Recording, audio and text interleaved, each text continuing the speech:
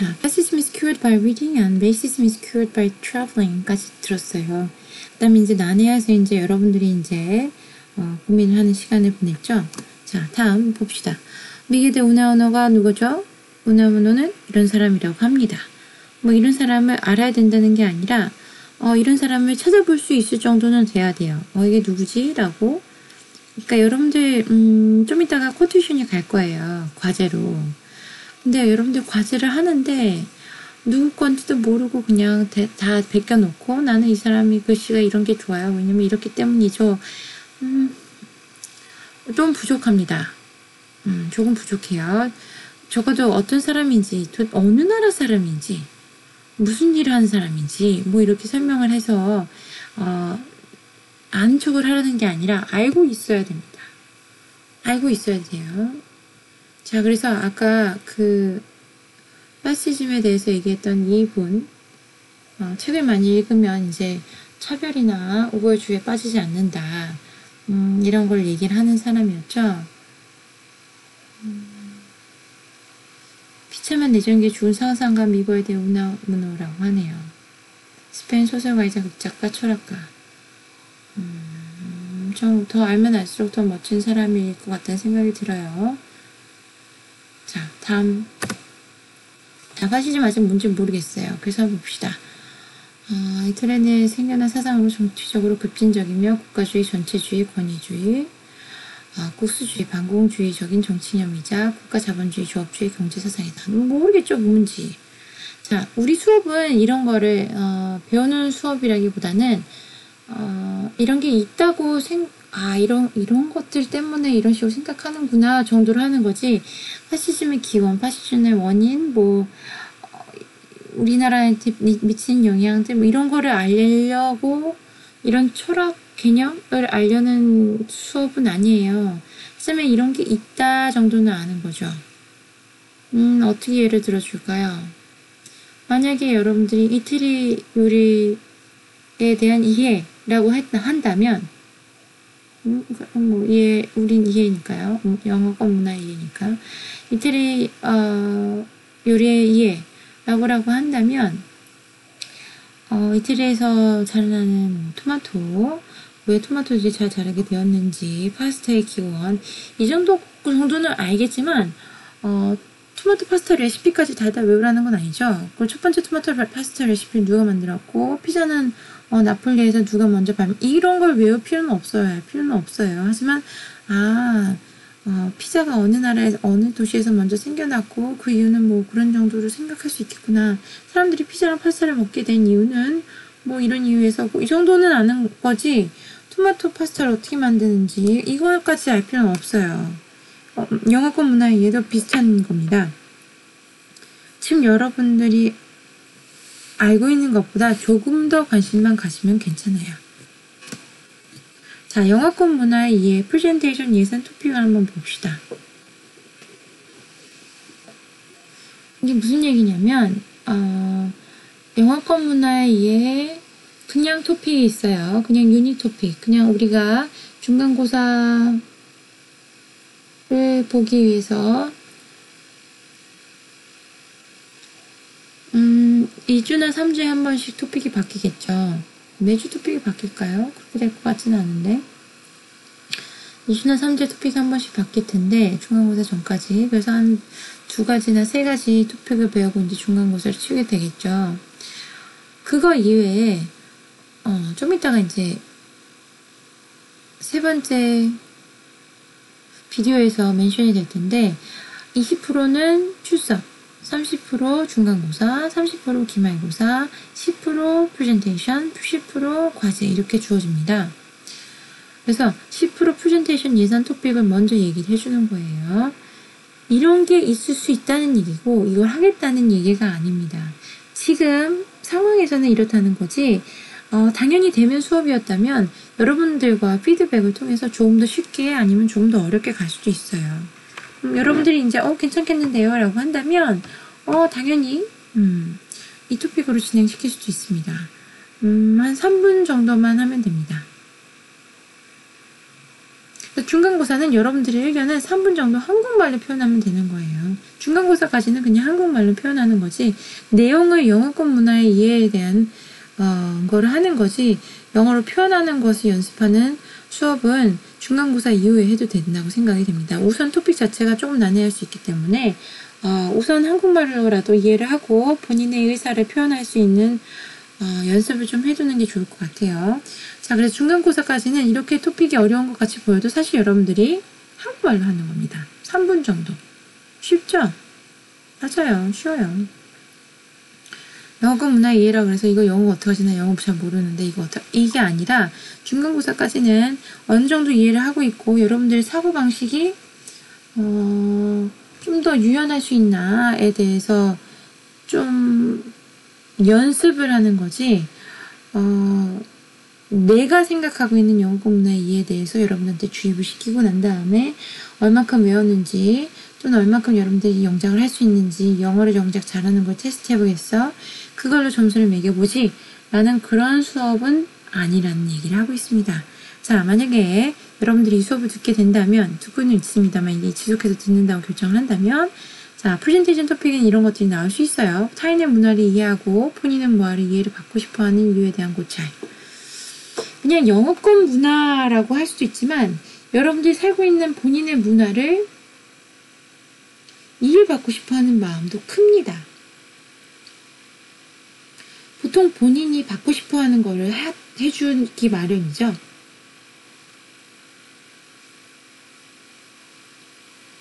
그래서 본인의 문화가 이해를 잘 받는다고 생각한다면 어, 그 사람도 상당히 관대해져서 좀 더 오픈 마인드로 상대방의 문화를 보기 시작하죠.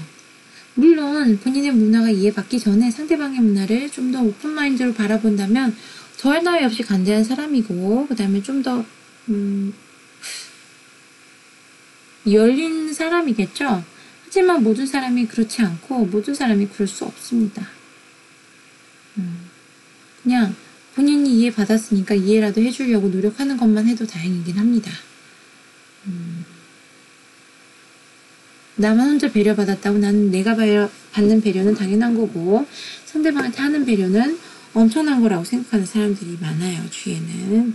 그래서 그것만 아니래도 다행이긴 해요. 자, 1번의, 어, 그러니까 예상 토픽, 타인의 문화를 이해하고 본인의 문화를 이해받고 싶어 하는 이유에 대한 고찰을 좀 해보시면 좋겠습니다. 자, 두 번째 토픽, 이제 초이스 중에 하나겠죠. 영어권 문화와 한국어권 문화의 차이가 주는 영어권 문화에 대한 호감의 이유. 자, 초반에 얘기했었어요. 영어권 문화의 이해라는 토픽이 나온 것 자체가, 음, 어 너무 싸가지 없어. 도대체 이해를 할 수가 없어. 도대체 애가 왜 저 모양이야?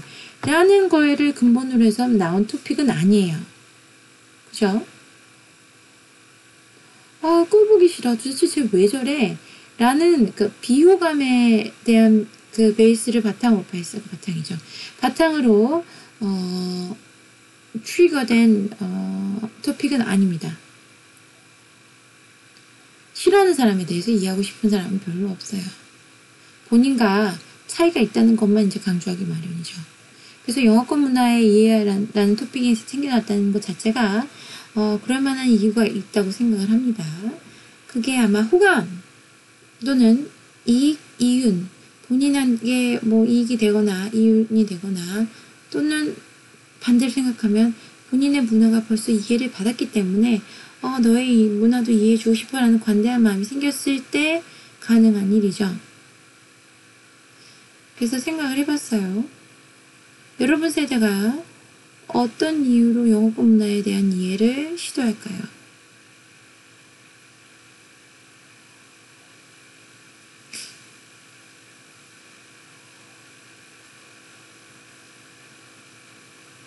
제일 중요한 부분 중에 하나는 인터넷입니다. 유튜브. 인터넷 유튜브가 가장 큰 이유 중에 하나죠. 더 이상 차이를 못 느낄 정도로 여러분들은 많이 가까워졌어요. 하지만 가끔 가끔 어, 정말 도대체 알 수가 없어. 도대체 왜 이러는 거야? 라는 극단적인 차이점이 발견이 되긴 해요. 가끔. 근데 그냥 차이점이 발견이 돼서 아 그렇구나 정말 몰랐네. 어, 예를 들면 toilet paper 그러니까 화장지죠. 화장실에 쓰는 두루마리 휴지를 어, 식탁에다 올려놓고 쓰진 않네. 라고 이해는 할 수 있는 정도까지는 왔어요. 하지만 여러분들 집에 신발을 신고 흙바닥을 어, 그냥 끌어당기면서 어, 선투선투 들어오는 사람 음, 나는 원래 신발 신고 다니니까 양말 안 벗어 아 신발 안 벗어 음, 어느 집에 가든 니네 집에 가더라도 니네 부모님 집에 가더라도 난 신발을 벗, 벗을 수 없어 나한테 너의 문화를 강요하지 마 라는 사람이 있다면 도대체 얘는 왜 이렇게 집안에서 신발을 신고 있는 걸까? 왜 영어권, 서양권, 음, 에서는 왜 집안에서 신발을 신고 있는 걸까? 생각해볼만 하죠.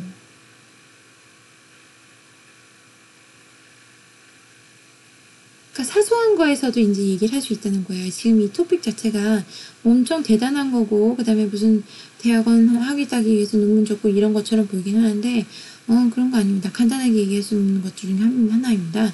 심지어 이제 3분 정도만 얘기하면 되는 거예요. 영어권 문화가 한국어권 문화의 차이가 주는 호감의 이유. 이제, 근데 두 번째, 두 번째 거는 영어권 문화가 여러분들에게 호감이 된 이유. 차별, 차이로 인해서 그다음 세 번째 거는 그 차이로 인해서 한국어권 문화가 주는 호감의 이유가 뭘까? 여러분의 문화가 영어권 문화에 주는 호감의 이유가 뭘까? 그걸 아는 방법도 좋은 거죠.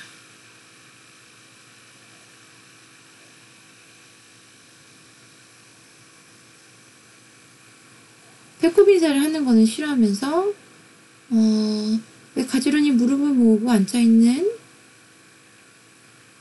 여성에 대해서는 아름답다고 느끼는가? 아, 이건 여, 자 남자 그, 그쪽으로 가지 맙시다. 음, 지금은 그걸 하는 시간은 아니에요. 우선 영화권 문화에 대해서 지금 얘기하고 있으니까요.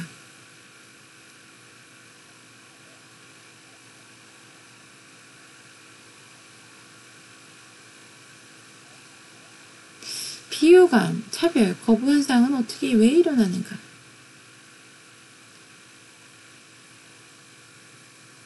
비호감 차별 거부 현상이 뭘까요?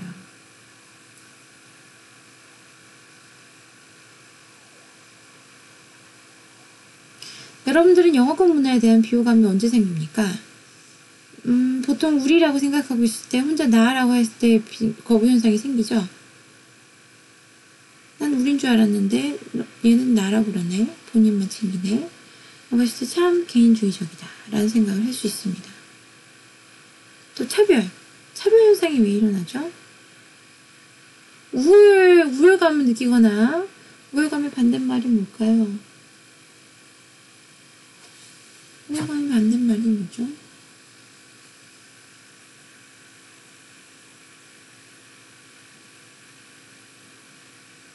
반대말 생각해 봅시다. 우울.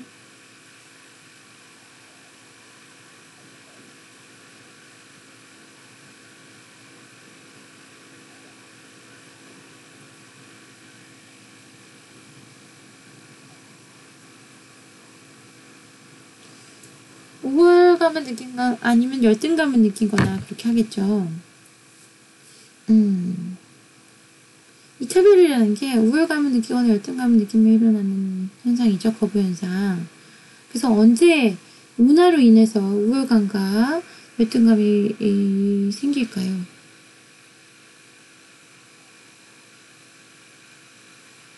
이해가 부족할 때 우울감, 열등감이 생기겠죠. 이제 상대방에 대한 이해가 부족하면 우월감이 생기죠. 아, 저거 영어도 못하는 게. 어, 이런 코테이션도 어디인가 있었어요. 음, 코테이션, English, accent.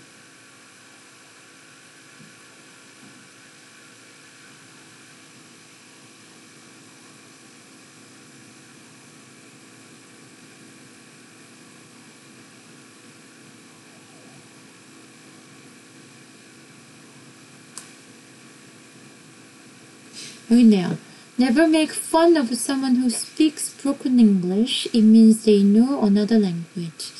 어, 절대로 어, broken English, 어, broken English를 한국말로 표현하면 어떻게 될까요? 문법에 안 맞는 영어를 하는 사람을 우습게 보지 말아요. 그 사람은 영어가 아니라 다른 어, 다른 언어를 하나 더 알고 있다는 얘기예요. 라는 뜻입니다. 어, 어, 영어 되게 못하네. 영어 그런 것도 몰라. 라는 얘기는 여러분들과 얘기했을 때 영어 그런 것도 몰라. 라는 하는 사람은 영어만 할 줄 아는 게 아니라 사실 본인이 fluent하게 할 수 있는 말을 벌써 알고 있다는 얘기죠. 한 개만 할 수 있다는 얘기가 아니라 두 개 이상 할 수 있다는 얘기예요. 그래서 본인은 영어 하나 할 줄 알면서 어, 문법이 틀리네, 액센트가 있네, 없네, 사투리를 쓰네, 안 쓰네. 음, 그렇게 얘기할 수 있겠지만 영어의 발음에 어, 액센트가 있거나 아니면 문법이 잘 틀린 사람들을 보면 그 사람들은 영어만 하는 게 아니라 영어 외의 언어를 더 할 수 있다. 그러니까 우습게 보지 말아라 라는 얘기를 합니다.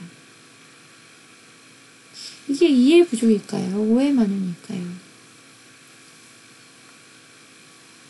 잘 생각해 보세요. 생각하는 건 좋습니다. 고민해 보는 것도 좋아요. 자, 토픽 1. 이제 첫 번째 주 이제 시작을 했죠.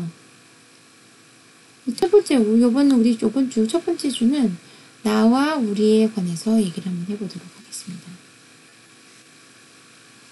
거기서 이제 영어권 문화와 우리 문화의 차이가 이제 벌어지기 시작해요. 벌써 시작했죠, 그렇게. 음. My family라고 그러죠. 내 가족. I want to introduce my family. 나는 우리 가족의, 음, 봐요, 봐요. 내가 지금 나도 모르게 우리 가족이라고 번역을 했어요. 이거는 내 몸에 그냥 스며져 있는 겁니다. 한국말에 스며져 있는 어, 문화예요. 그러니까 영어권이 아닌 문화에 스며져 있을 가능성이 상당히 높죠.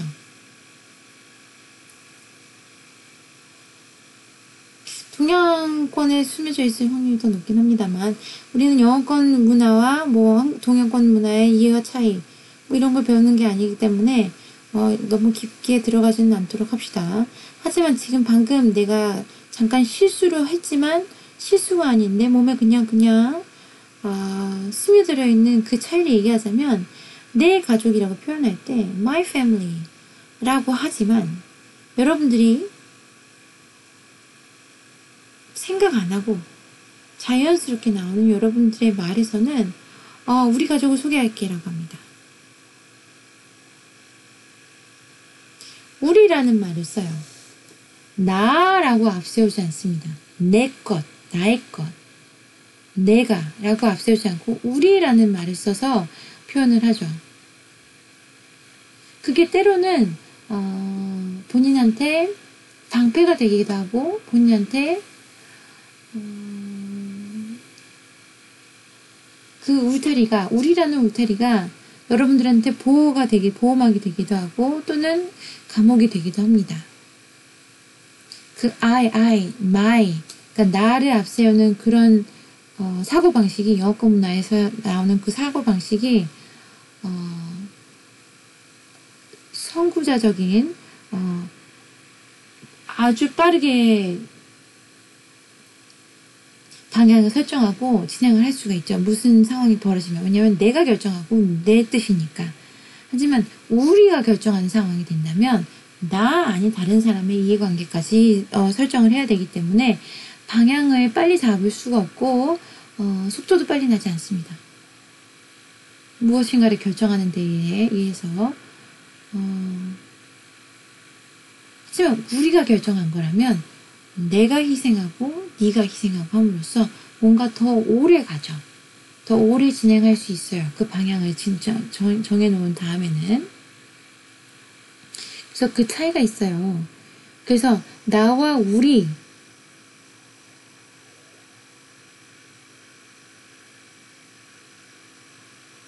라고는 하지만 I and we 라는 말은 써본 적이 없습니다.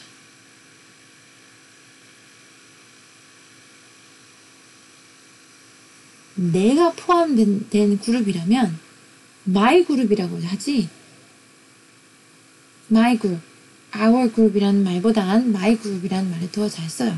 그래서 너와 나 정도이지 너와 우리라는 말은 쓰지 않아요. 한국말도 그렇게 하나요? 어쨌든 음, 이해가 됐어요? 내 가족, 우리 가족, 우리 가족을 소개합니다. 한국말이죠? 내 가족을 소개합니다. 그건 영어를 번역한 거예요. 한국말. 직역한 거죠. 그래서 여러분들이 여기서 좀 생각해야 될 게, 아, 이 문화를 이해하고 있다면 여러분들이 번역을 하는데 조금 더 smooth하게, 좀 더 부드럽게, 어, 잘 할 수 있을 거예요. 그래서, 어, 몇 달 전인가요? 언제적인지 참 까마득합니다만, 기생충이라는 영화가 상을 많이 타고 그랬을 때, 그걸 번역을 해주시, 통, 어, 통역을 해주시는 분이, 어, 주목을 많이 받았었죠. 너무 잘한다고, 센스 있게. 그 센스가 바로 문화를 이해하는 데서 나오는 센스입니다.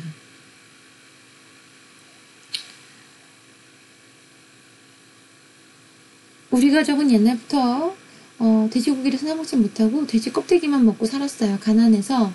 라고 여러분 얘기를 했다면 우리 가족은 옛날부터라는 거기서부터 our family 라고 하지 않을 것이고 왜냐면 서양인들이 들었을 때 그러니까 영어를 쓴 사람들이 들었을 때 our family 너와 나란 얘기야? 왜 우리가 이게 우리야 너의 가족에 대한 얘긴데 라고 벌써 거, 뭔가 뭔가 불편해지기 시작해요. 들으면서 뭔가 꺼림직하고 뭔가 어색합니다. 그래서 그 순간 번역하는 사람, 통역하는 사람은 my family 라고 이제 시작을 해야겠죠. 우리 가족은 옛날부터라고 했, 한국말로 했다 하더라도 번역을 하는, 통역을 하는 사람 입장에서는 더 센스 있게 하는 방법은 my family라고 하는 겁니다. our family라고 지역이 한다고 하더라도 my family라고 지역을 해야 되죠. 다시 의역을 해야 되는 겁니다. 그 차이입니다.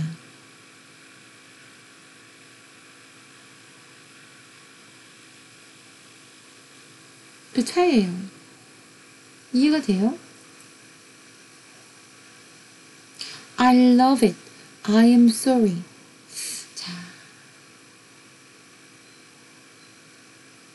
나는 너를 사랑해. 사랑합니다. 사랑해 라고 하지 나는 너를 사랑해 라고 안 하죠.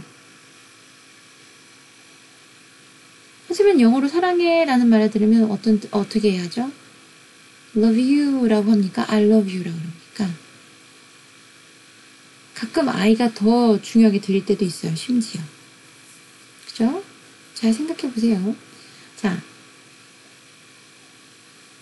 길을 가다가 부딪혔습니다.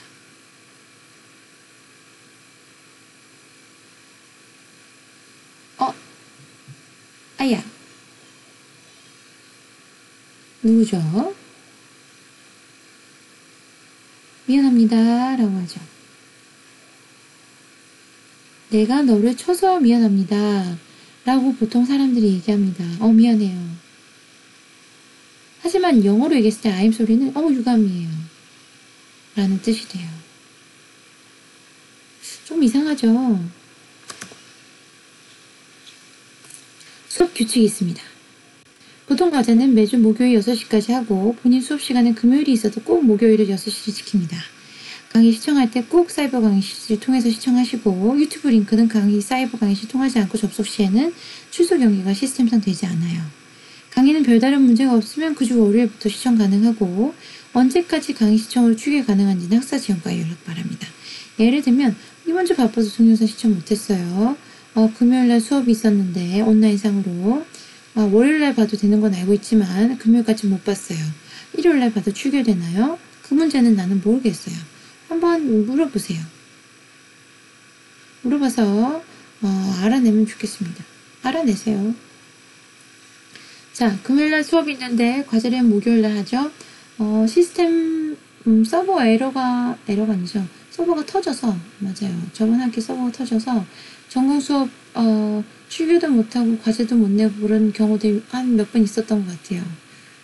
그런 경우가 생기는 이유는 어, 미루고 미루고 미루다가 주말 돼서야 과제를 하고 뭐 이렇게 하면서 서버가 이제 아주 복잡해지기 시작합니다. 거기다가 이제 교수님들까지 그때 동영상을 링크 올리고 막 이러기 시작하면 정신이 없나 봐요. 당연히 서버가 다운이 되면 안 되는 거죠. 하지만 그런 상황이 벌어졌잖아요. 그래서 사고가 나면 안 되는 거긴 하지만 사고 수습하는 일은 너무 복잡합니다. 사고가 나기 전에 사고를 안 나게 하는 방법이 더 좋은 방법이에요. 그래서 그런 상황을 만들고 싶지가 않기 때문에 아예 그런 방법에 대해서는 음, 어, 생각하고 싶지가 않아요. 그래서 여러분들의 모든 과제는 그냥 수월하게 월요일 날 땡 하면 하자마자 어, 사이버 강의실 과제 관리란에 가면 과제가 보여요. 심지어 동영상 어, 강의를 시청을 안 하고더라도 과제는 완료할 수 있습니다. 그래서 꼭 본인이 동영상 과제, 과제를 늦게 봐야 되는 상황이라면 과제 먼저 완료하시고 그 다음에 동영상 어, 시청하시면 됩니다.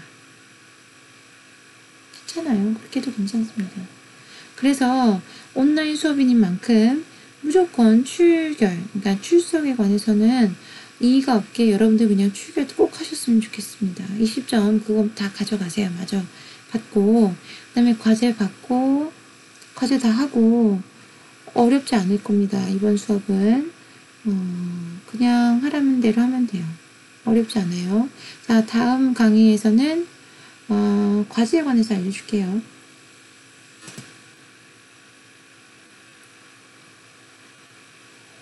음, 이거 뭐 여러분들 다 알고 있는 얘기죠.